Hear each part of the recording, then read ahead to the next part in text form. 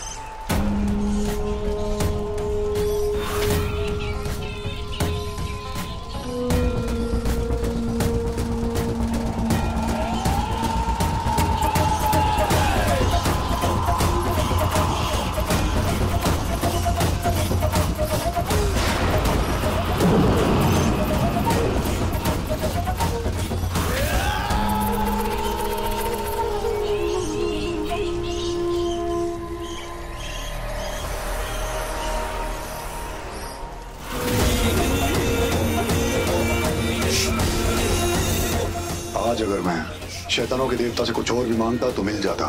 पता नहीं क्यों पर तंत्र साधना करते समय सिर्फ़ आपकी ही याद आ रही थी। जैसे आप मुझे याद कर रही हो। तभी तो मैं कहती हूँ तुम मुझसे जितना प्यार करते हो उतना तो मेरे गर्भ से जन्मा बेटा भी नहीं करता। मैंने तुम्हें जन्म तो नहीं दिया मगर तुमने हर बार बेटे का फ़र्ज़ अदा किया। बल्कि अपनी माँ से बढ़कर स्थान दिया मुझे। क्यों नहीं देता मासी? मासी का तो अर्थ ही होता है माँ जैसी। मेरी पहचान, मेरा जीवन, मेरी शक्तियाँ और मेरा अस्तित्व, सब कुछ आपने ही तो दिया है। आपने ही तो मुझे हर विद्या सिखाई। आप तो गुरु हैं मेरी और इंसानी दुनिया हो या शैतानी, गुरु का तो स्थान ही सबसे ऊपर होता है। और मासी अगर आप नहीं होते तो मैं एक मामूली सा चमगादड़ बन के रह जाता। तुम मुझ जैसी शक्तिशाली डाकिनी चंद्रलेखा की बहन, मंत्रलेखा के बेटे हो। तो फिर तुम मामूली कैसे हो सकते हो? अच्छा बताइए मैं आपकी क्या सेवा करूँ? और ये भी बताइए कि कौन है वो बदनसीब जिसने हमारी मासी के चेहरे पे चिंता की लकीरें खींच दी?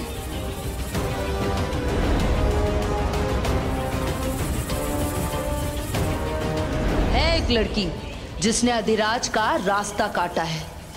आए दिन किसी न किसी बहाने अधिराज उस लड़की से मिलने जाता रहता है। मैंने खुद अपनी आँखों से देखा है कि कैसे अधिराज उस लड़की को निहार रहा था। मेरी 21 साल की तपस्या यूँ भंग नहीं हो सकती।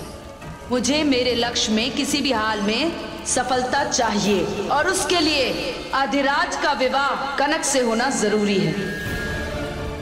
इसीलिए मैं चाहती हूँ कि तुम साय की तरह अधिराज के साथ रहो। किसी भी कीमत पर उसे उस लड़की से मिलने मत दो। लगता है उस लड़की के सिर पर काल का साया मंडरा रहा है। तभी तो वो हमारे मासी के चिंता का कारण बन गई है। मासी, आप बताइए तो सही कौन है वो लड़की? अभी जाकर उसका काम तमाम कर देते हैं।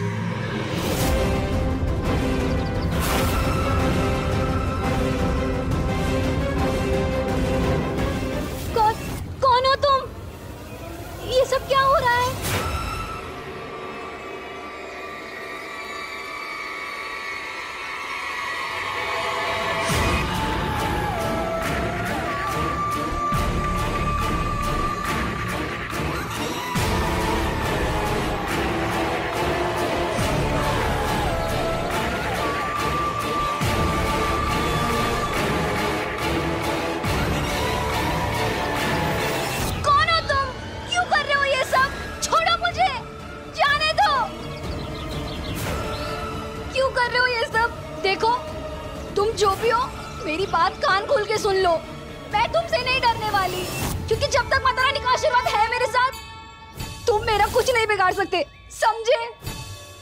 हे अम्बे माँ, मेरी रक्षा करो। या देवी सर्वभूतेषु, दया रूपेण संस्थिता नमस्ते नमस्ते नमस्ते नमो नमः।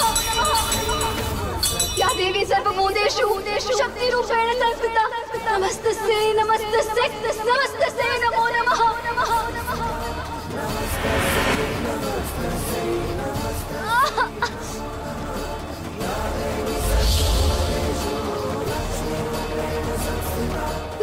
नानी। नहीं सुने। ना क्या हुआ बेटा? क्या हुआ? जय माँ अम्बे। क्या हुआ बेटा? हे माता रानी कितना डरावना सपना था। क्या हुआ बेटा? क्या हुआ? अरे तारा पानी ला जल्दी से। दी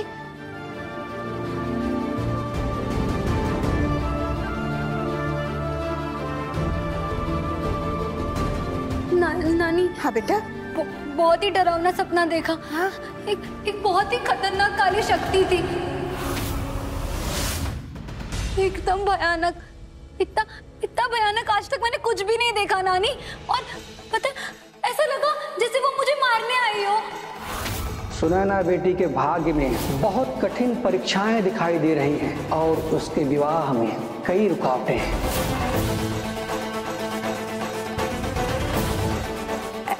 कुछ नहीं बेटा, ऐसा कुछ भी नहीं है। तू बहुत थक गई है ना? इसलिए सपने में डर गई होगी। देख बेटा, मैं ना तेरे लिए एक खास चीज़ रखती हूँ हाँ? तू ना जल्दी से हाथ मुँह धो गया मैं तुझे वो खास चीज़ दिखाती हूँ हाँ? जा बेटा। नानी सही कह रही है। इतनी थकावट और परेशानी हुई मुझे, इसलिए डरावना सपना आया होगा।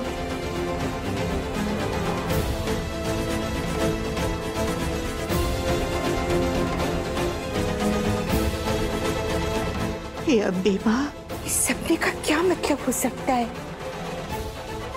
कहीं उस पंडित की भविष्यवाणी सच तो नहीं होने वाली है? अम्बे माँ आपने सदा मेरी सुनैना की रक्षा की है। आगे भी अपनी दया बनाए रखना, माँ। अपनी दया बनाए रखना, माँ।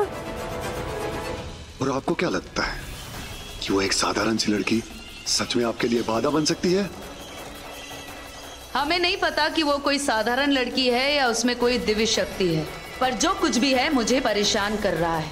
उसकी आँखों में वो तेज है जिसे एक बार कोई देख ले तो भुला नहीं सकता। लेकिन ऐसी कौन सी लड़की है मासी? आओ खुद ही देख लो।